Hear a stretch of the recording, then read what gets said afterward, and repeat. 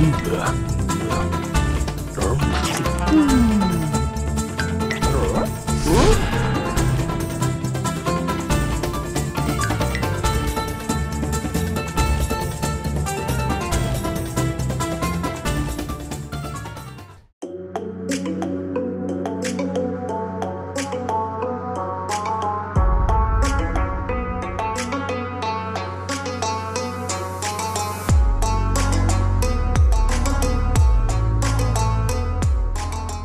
مساء الفل على أكيلة في كل مكان.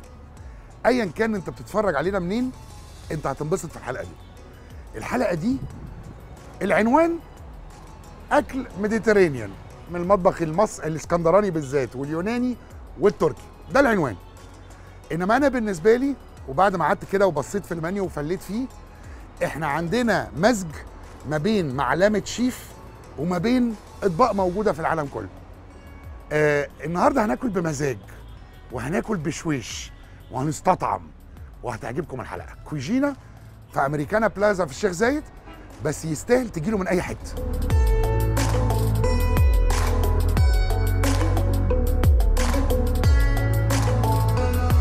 إنها نشوة الانتصار في الطعم. بالعيش كمان مجرم.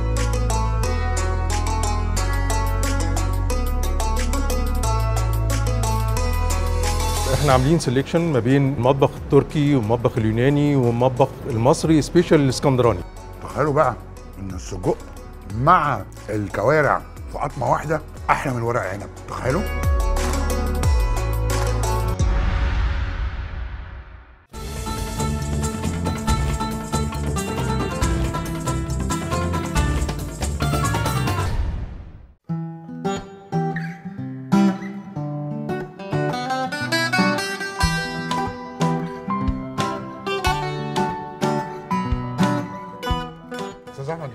مساء الخير حضرتك ال- المدير التنفيذي للشركة ال- المديرة للمطعم ولا بالظبط. المالكه للمطعم؟ آه المديرة والمالكة. أوكي يعني ده وده. بالظبط. آه اللي أنا فهمته ان أنتوا شركة أصلا من دبي. بالظبط هو. مقر مقر الشركة في دبي آه الإدارة في دبي وعندنا آه آه سلاسل مطاعم موجودة في دبي. أوكي. ونزلنا آه ده أول مشروع ليكم في ده. أول مشروع نزلنا عشان طيب، نفتح المشروع ده. نبتدي بالاسم. كوزينا. نعم. هو جاية من من kitchen أو cuisine بالفرنسية بس. هي بأنهي لغة. آه اليوناني. يوناني يوناني بالظبط آه اتجاه المنيو آه جديد. آه بالظبط يعني أنتوا كاتبين Mediterranean vibe بالظبط. يعني واضح ان المنيو Mediterranean بالظبط بس أنتوا منقين حاجات معينة. هو مش كل ال Mediterranean هو إحنا إحنا عاملين selection ما بين ال- ال- المطبخ التركي والمطبخ اليوناني والمطبخ المصري special الإسكندراني. اللي هم الثلاث بلاد اللي على ال- البحر المتوسط. أوكي مش كل البحر المتوسط. مش كل البحر منقين المتوسط. بالظبط طبعا. طب الفكرة جت منين؟ آه، آه، يعني ليه الثلاث مطابخ دول؟ هم يعتبروا من من أقدم المطابخ. يعني أعرق المطابخ آه، المطبخ ال- اليوناني والإسكندراني أو المصري والمطبخ التركي. أوكي. فمن هنا جت من هنا يعني. plus إن إحنا يعني آه، عملنا طبعا دراسة للسوق المصري وإحنا حبينا إن إحنا نعمل فكرة تكون unique فقلنا لا لازم نكون مختلفين شوية. ففكرنا في المطبخ آه، أو ال concept ال Mediterranean. أوكي. آه، واخترنا بذلك اخترنا المطبخ التركي واليوناني اليوناني والمصري. بالظبط. تفصيلة الإطباق أنا وأنا بتفرج على المنيو كده آه، نعم. انبهرت. نعم تفصيله الاطباق دي يعني مش عايز أقول إنه اللي عاملها آه، فوق الشيف شوية يعني حاجة آه، آه، آه، مين اللي عامل تفصيلة الإطباق؟ مين مختار الإطباق؟ يعني هو كان مجموعة ال- ال- الإدارة بشكل تام وكان آه، في حد بيتعاون معانا بيساعدنا food consultant و جبتوا جبتوا food consultant عشان نعم تختاروا. الإطباق وطيب طريقة مكوناتها بقى وبالانجريدينتس بكل حاجة. بكل حاجة. بكل حاجة. بس إحنا طبعا كان لينا اللمسات بتاعتنا كإدارة للشركة في حاجات شلناها وحاجات حطيناها لغاية ما وصلنا للمنظومة. طبعا كان كله في اجتماعات عديدة عشان نوصل في الآخر للمنظومة اللي حضرتك هتشوفها إن شاء الله يعني. آه، المنظومة اللي أنتوا حاطينها من غير شيف معلم تبوظ. بالظبط كده. هو إيه إيه كان مدى سهولة أو صعوبة إن أنت تلاقي شيف هو أنا طبعا عشان أسيرش على آه، تشيف يكون اشتغل في المطبخ التركي واشتغل في المطبخ اليوناني واشتغل في المطبخ الشرقي والاسكندراني. هي خدت مني وقت شوية لكن وفقت في إن أنا ألاقي حد فعلا آه، شاطر في في القصة ديت ويقدر يطلع الفكر اللي إحنا عايزينه والكونسبت اللي إحنا عايزينه ويبقى معمول بشكل جيد جدا. آه، فمعايا بالفعل أنا معايا شيف كويس يعني. طيب أنت كان حظكم وحش شوية. أنتوا فتحتوا قبل قفلة كورونا أكيد بحاجه بسيطة قوي أسبوعين مثلا ولا حاجة صحيح. كده يعني آه، اتصرفتوا إزاي الفترة اللي فاتت دي كلها؟ والله إحنا اشتغلنا على نفسنا بشكل آه، آه، كبير في الفترة اللي فاتت هي كانت ال- الفترة مش آه، مش كويسة بالنسبة للسوق المصري طبعاً. ككل يعني سوق عالمي مش مصر. السوق العالمي ككل إحنا اشتغلنا على نفسنا إن إحنا طبعا ال- ال- الناس أول ما فتحنا إحنا قعدنا يمكن ما كملناش أسبوعين وبعدين حصل ال- السيول الجائحة الأول السيول وبعدين وبعدين. الجائحة بتاع الكورونا بس اشتغلنا على نفسنا ان الناس كانوا لسه بدأت ففضلنا نعمل في خلال الفترة ديت حتى وإحنا قافلين training بشكل؟ قفلنا أوكي بص آه، ربنا يقدر كل صاحب مطعم أنا. عارف طبعا إن آه، عالميا مش بس في مصر آه، ولكن آه، ربنا يقدركم وترجعوا تشتغلوا تاني. يا رب يا رب. إن شاء الله آه، يعني. لأن فعلا المطاعم بتشغل شباب كتير وسريع. يعني يعني كل ما بيفتح مطاعم بسرعة وكتير كل ما الشباب بيشتغل أكتر وأسرع. فدايما بتمنى إن ما فيش حد من المطاعم يقفل. ربنا يعديه يا على. خير إن شاء الله. إن شاء الله يا ندخل في الجد. اتفضل. استأذنك. اتفضل.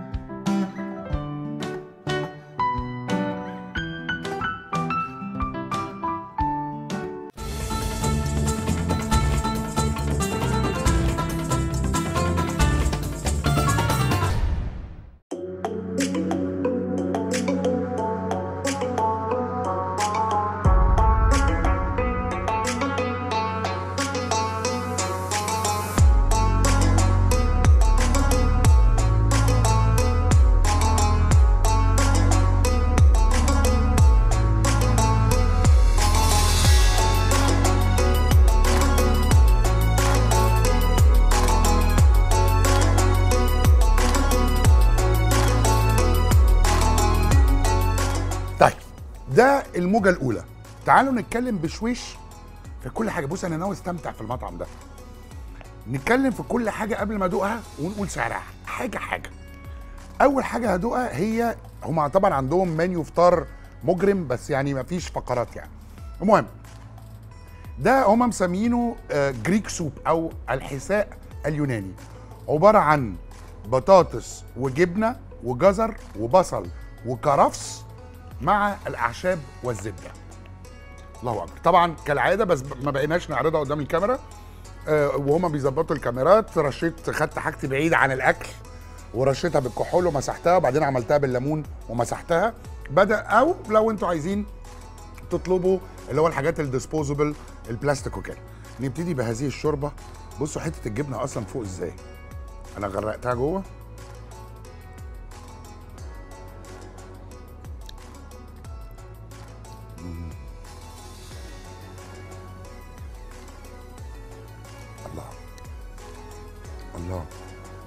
دايما طبعا بقول لكم في مطاعم ما يبقاش دي هي دي معلقة الشرب اللي بتبقى مدورة كده. الكبيرة اللي بتبقى مبوزة دي للغرف مش للرز. الرز للشوكة. المهم طب أنا عايز أدوق الجبنة دي. أهي حتة أهي.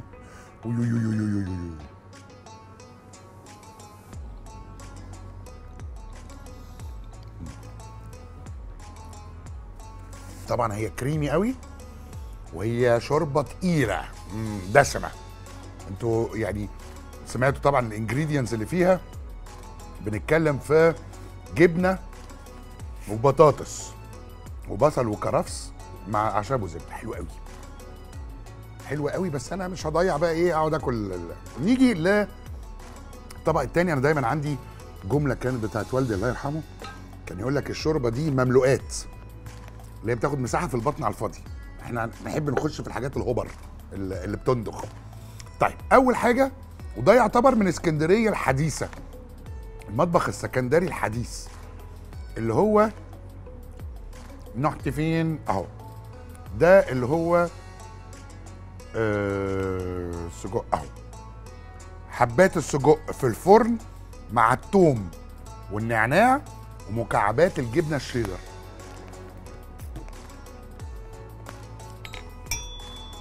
شايف أنا حاجة كده أصلا؟ دي ايدي امم لحد معاه بطاطس. سجق.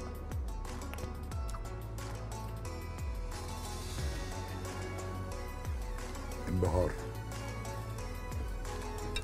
انبهار.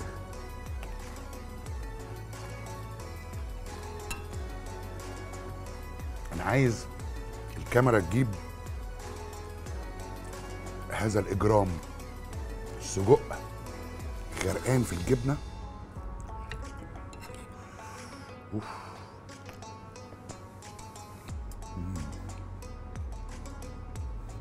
هنا طبعا مع غرقانه في الجبنة ما يسمحش لأن سجقه يبقى أصلا دراي أو جاف يعني مم. شوية خضار كده وجزر وبتاع. تحفة. أقول لكم على حاجة بقى مجرمة بس معلش. هاخد حتة عيش صغيرة ها عشان الرجيم. ونقوم حاطين فيها سجقاية واحدة بس يتيمة سجقاية. وناخد شوية من صوص الجبنة ده. مع الواحد أصل إيه؟ أنتوا عرفتوا طبعا كل الناس اللي بتتابع الأكيل عارفين إن الأكل عشق. فأنت تاخد السجقاية كده بالجبنة السايحة اللي عليها بص كده بس بسيط حاجة خالص كده. وتقوم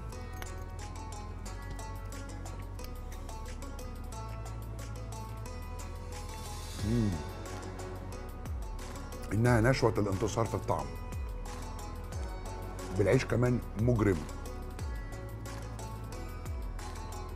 وبرز أبيض جنبه مجرمين. إيه ده؟ أو الخلطة دي كلها بقى زي ما هي كده بالظبط. على شوية مكرونة مسلوقة. يا أختي! صح ندخل على اللي بعديه. وده طب ما نغير الطاسة وخلاص بدل ما نقعد نشيل ونحط. نشيل ده هنا ونجيب ده هنا. ده بقى يا سيدي عبارة عن مكعبات الفراخ. قول قول قول يا شيف قول. دول بقى مكعبات الدجاج المشوي في صوص العسل مع حبات الزيتون الأخضر وشرائح اللوز المحمص. أهو اللوز المحمص أهو عشان ما نقولش بنكذب ولا حاجة أهو. ناخد بقى فراخ في صوص العسل.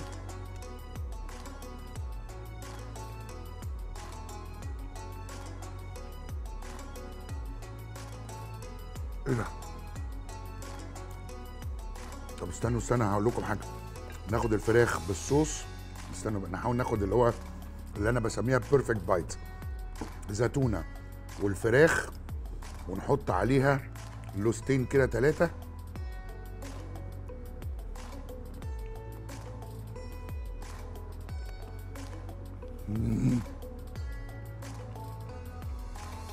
إيه ده؟ الجمال ده؟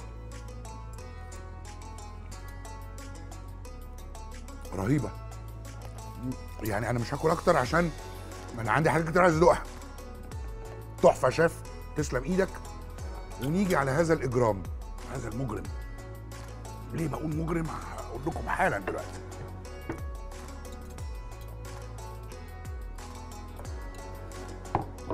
بس.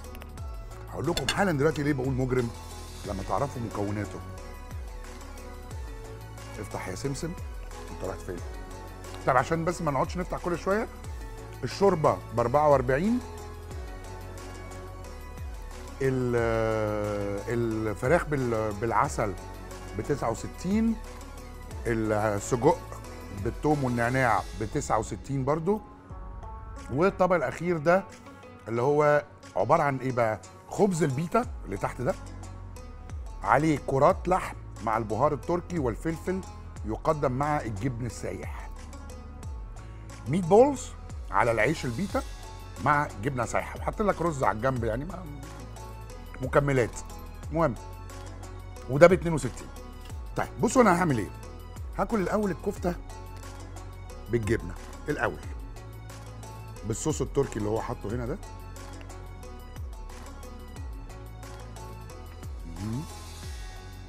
Okay. وبعدين هاخد ال perfect bite اللي هي الصوص.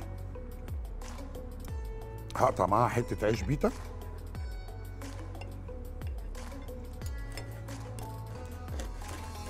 مش سهل اقطعه بالسكينة قوي يعني بس أهو. تمام؟ ون ون نليطه كده جوه الصوص التركي بتاعهم. وبعدين ناخد نص عشان بقي صغير فناخد نص الميت بول وتبقى الشوكة فيها كل حاجة. أهي. كده.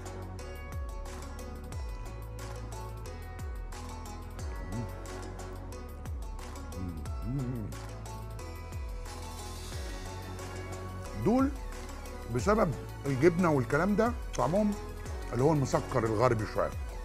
ده طعمه الشرقي. بتاع الصلصة واللحمة الميت بول وال... والعيش البيتا الطعم الشرقي الشرقي يعني. تحفة. طيب تعالى نعمل نفس الحاجة. ناخد من على فوق العيش كده الصوص مع الجبنة. طبعا أنتوا دايما بتاكلوا في ناس تقول لك آه ده بيعملوا لك أكل مخصوص ومش عارف إيه. ده بقى كل مطعم وضميره لأن أنا مش ممكن أراجع فوق آه، ال 420 مطعم. فايه ناخد بقى النص ده مع الرز.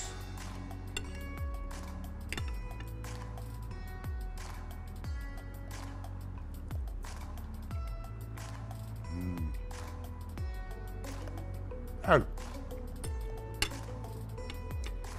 سواء الرز أو العيش البيتا هو ال ال اللي بيشيل الطعم. فالاتنين قريبين من بعض لو كلته بالرز أو بالعيش البيتا هي هي. حلو قوي. وده يناسب ال ال ال الذوق المصري أكتر. التوابل وال والخلطة التركي واللحمة والبتاع أقرب للذوق المصري. ده اللي هو الحاجات المسكرة دي بتاعت الخواجات يعني اللي هي اللي دخلت مطبخنا جديد يعني. الجبنة والبتاع مش عارف إيه. أنا بحب ده طبعا. وده بق... ب... ب... يعني قيمته على راسي من فوق يعني. التلاتة حلوين قوي والشوربة رهيبة ننتقل إلى الجد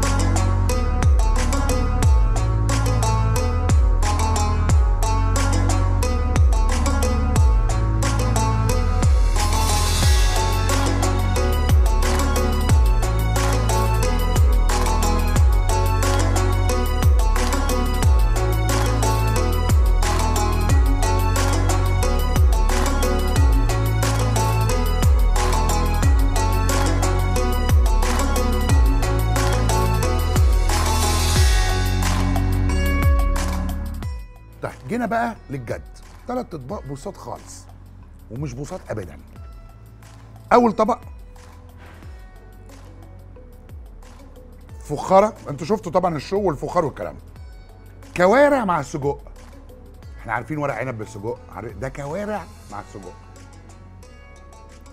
ونقول سعره بالمرة بسعره بالمرة ده 149 بعدين التاني اللي هي كانت الفخاره التانية كان مع... مكعبات اللحم الضاني مع البصل والمشمشية وشرايح اللوز معاها طع... بطعم القرفة والنعناع. وطبعا القرفة باينة هنا ناشفه قدامنا. والحاجة الثالثه دي على خفيف كده. آه دي سوري نقول السعر بالمرة. دي 159 والموزة معمولة بطريقتهم هم. موزة ضاني على طريقة كوزينة. آه مش كاتبين طريقة كوزينة دي. طيب ماشي يا عم. ماشي. نحتفظ بالسر. هنا بقى تيجي المعلقة الكبيرة أو البيضاوية اللي هي بتغرف بيها. ناخد كرع وسجقاية وكرعين كمان.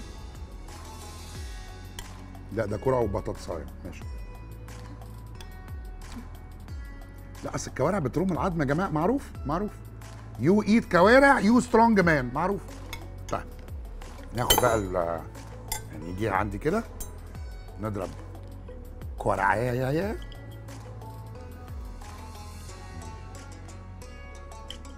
طيب.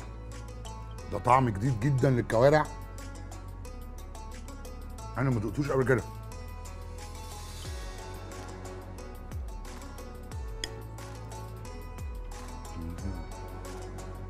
مم. شيف عمرو التوانسي. حضرتك شايف لازم يتقبض عليك عشان انت خطر على الصحة العامة. تخيلوا بقى إن السجق مع الكوارع في قطمة واحدة أحلى من الورق عنب. تخيلوا؟ ما كانش ممكن يخطر على بالي إن أنا أحط الاثنين دول مع بعض. مش بقول لكم لازم تقبض عليه. مم. رهيبة. رهيبة. مم. ناكل بقى البطاطسايه دي عشان الصحة العامه يعني الخضار يعني. طيب نيجي للاختراع التاني. بس أنا بقى مش عايز طعم يخش على طعم استنوا هغير الطبق. نيجي بقى للتاني لحم ضاني. وأنا عادة ماليش في اللحم الضاني المطبوخ بس الشيف أنا أحب اللحم الضاني مشوي. بس الشيف وعدني إنه هيفاجئني. okay؟ كفاية قوي كده. شوية اللوز اللي تحت ده. يخدي okay قول لي يا شيف. الشيف قال لي مالكش دعوة. فأنا هاكل اللحمه الأول لوحدها.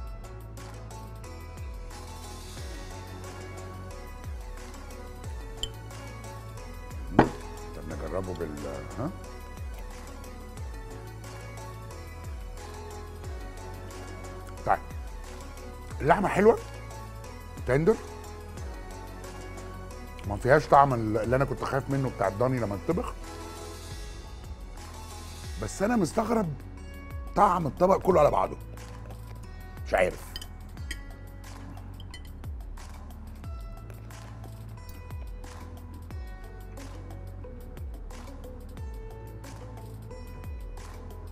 لما تبقى عامل فوق ال 420 حلقة وتلاقي طعم مستعجبه هو ده إنجاز. بس أنا مستغرب الطعم. للي بيحب يجرب الحاجات الجديدة اطلبوا ده.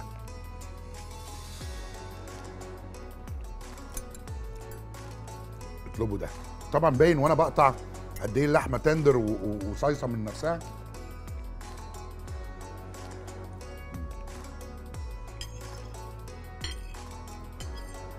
ماشي يا شيف. أوكي. ماشي. تجربة جديدة؟ ما جربتهاش قبل كده والطعم مستغربه. ده معناه إنه ملوش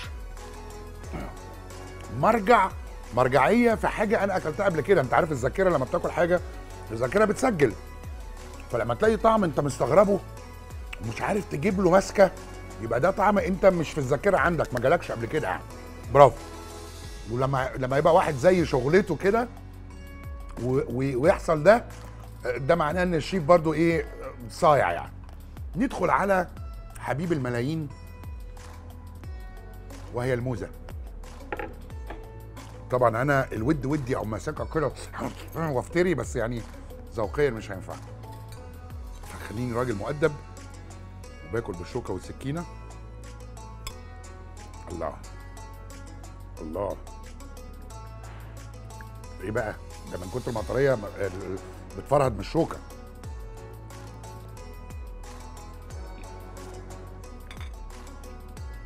طب والله ما أنا كسبكم.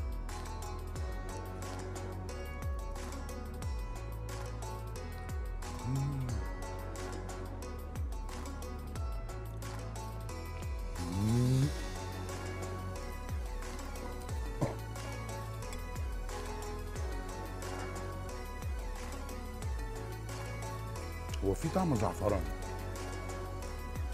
طيب الرز فيه زعفران. نقلب.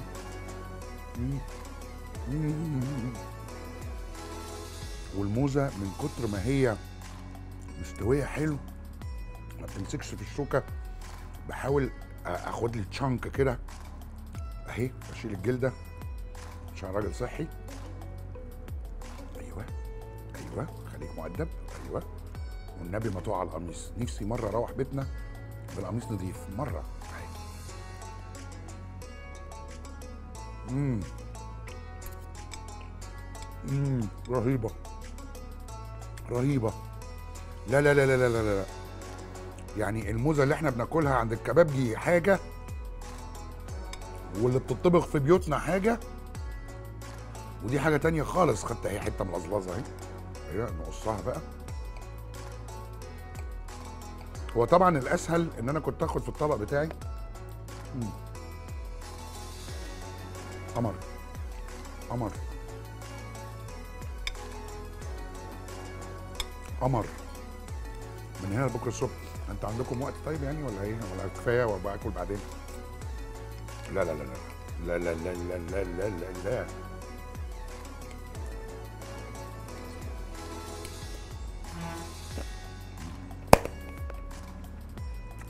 سلمت أمري لله. بلا رجيم بلا بتاع رجيم إيه في شيفات في شيفات يكرهوك في الرجيم. طيب إحنا قلنا سعر الموزة ولا ما قلناش؟ 220 جنيه. الموزة. طيب نختم بقى الموضوع بهندسة كده. في أماكن تخشها مفرحة وفي أماكن تانية كئيبة. في أماكن كلاسي وفي أماكن شعبية. في أماكن تفتح نفسك وفي أماكن تحسسك إنك عايزك وتمشي. حلاوة الديكور بتاع كوجينا إنه مفرح.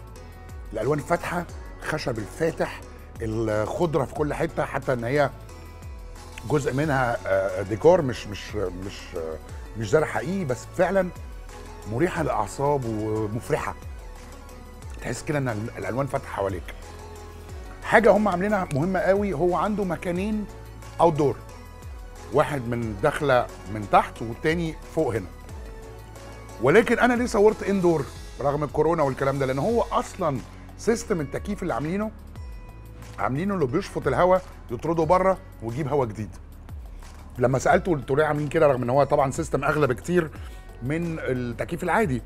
قال لي عشان آه، آه، آه، جربنا لما لو التكييف عادي اللي هو بيجيب الهواء ويسقعه ويفضل يقلب من جوه بتبقى ريحة المطبخ كله جوه المطعم. عشان كده هم أصلا عاملين ال system ده فبالتالي هو ده ال system المفروض المعتمد آه، بالنسبة لظروف الكورونا وكده. عاجبني ال- الأطباق اختيار الأطباق عاجبني اختيار الترابيزة عاجبني اختيار الكرسي. أنا شخص ضخم شويتين قاعد في الكرسي مبسوط مش مزنوق رغم إن الكرسي بجناب عادة موضوع الكرسي عاجبني ال proportion آه، ما بين الترابيزة والكرسي فأنت قاعد ولا أنت لفوق ولا أنت مقتّب. مظبوط. فواضح إن برضو مهندس الديكور كان حد professional أنتوا سامعيني بتكلم في حاجات تفاصيل صغيرة هتقول إيه ده؟ آه في مطاعم أنت بتبقى قاعد مش مبسوط. ترابيزة واطية فأنت قاعد آه، للناس اللي عندها كرش قاعد كرشه على رجليه مش عارف ياكل يعني. لا يعني آه تجربة جميلة قوي قوي قوي ومش كتير بتقع في آه شيفات تبهرك أو سيبك من تبهرك كمان آه آه تقدم لك حاجة بالذات لما تكون تكون أنت حد أكيل وبتلف وبتدوق وبتاع. نادرا ما بتلاقي شيف يأكلك حاجة أنت مش في ذاكرتك ما الطعم ما تعرفوش شفتوش قبل كده؟ طبعا إلا لما بتسافر. أنا بتكلم جوه جوه البلد يعني. وفي نفس الوقت هو ال Mediterranean هي الثقافة بتاعتنا بتاعت ال- المتوسط. ما هوش مثلا جايب أكل من أو توابل آه، آه، آه، إندونيسي مثلا فأنت اللي هو إيه ده مستعجب الطعم لا في في الحاجات بتاعتنا اللي إحنا متعودين. برافو برافو يا شيخ برافو كمطعم برافو ككل حاجة. ما افتكرش إن في حاجة ناقصة أقولها. نادرا برضو لما بيبقى كل الأطباق عجباني. لما ده قلت لك قلت لكم مستغربه مش معناه إنه مش عاجبني. لا معناه إنه غريب. مش مفهوم. في حاجة جديدة في حاجة محتاج إنك تجربه مرة واثنين وثلاثة عشان تتعود عليه. وبعدين تقرر أنت بتحبه ولا لأ. إنما عامة كل الحاجات اللي دقتها النهارده كانت رهيبة. يمكن باستثناء وأنا اتكلمت مع الشيف الشوربة اللي كان باين فيها قوي كانت البطاطس والجبنة ما كانش باين الأعشاب اللي هو حاططها. وده كان التعليق الوحيد اللي قلته للشيف آه، آه، ما بين ال- الفقرتين.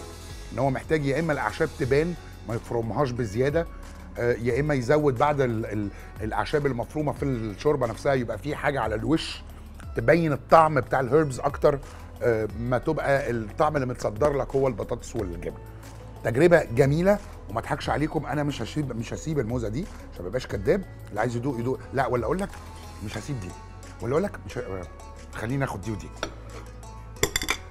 صباح الخير